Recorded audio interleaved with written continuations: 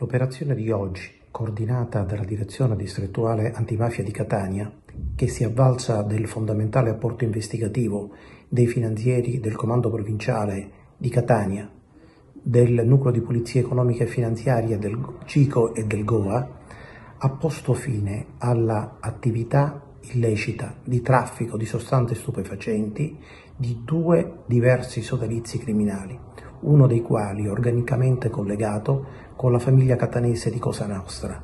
Parte infatti dei proventi di questa organizzazione servivano a mantenere in carcere alcuni dei soggetti più importanti detenuti, tra cui Turi Amato, che era al comando del gruppo denominato 80 Palme della famiglia catanese di Cosa Nostra. Queste due organizzazioni criminali svolgevano, come dicevo, una ingente attività di traffico di sostanze stupefacenti. Basti pensare che nel corso delle operazioni sono stati sequestrati oltre 4 kg di cocaina. Inoltre ingenti quantitativi di hashish e di marijuana.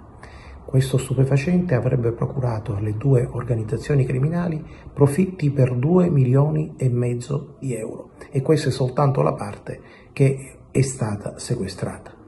Una delle due organizzazioni si avvaleva di fornitori che venivano dalla Campania, dal Lazio ed altri stanziati invece nel nostro territorio.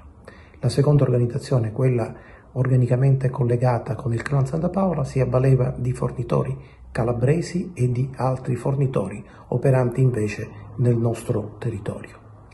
Stroncare questo tipo di attività illecita che assicura profitti in misura ingente è di fondamentale importanza sempre, ma tanto più lo è in questo periodo caratterizzato da una crisi economica che attaglia le nostre famiglie, i lavoratori italiani e le imprese economiche.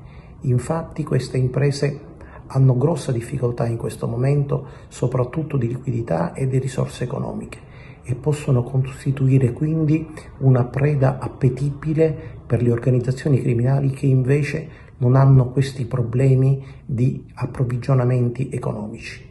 Bisogna evitare con questo tipo di operazioni che risulti ulteriormente rafforzata la potenza di queste organizzazioni criminali, la loro capacità di infiltrarsi nel tessuto economico sociale e bisogna evitare che da questa crisi possa riuscire profondamente indebolito il sistema economico delle imprese sane che vanno tutelate proprio a garanzia dello sviluppo del nostro Paese.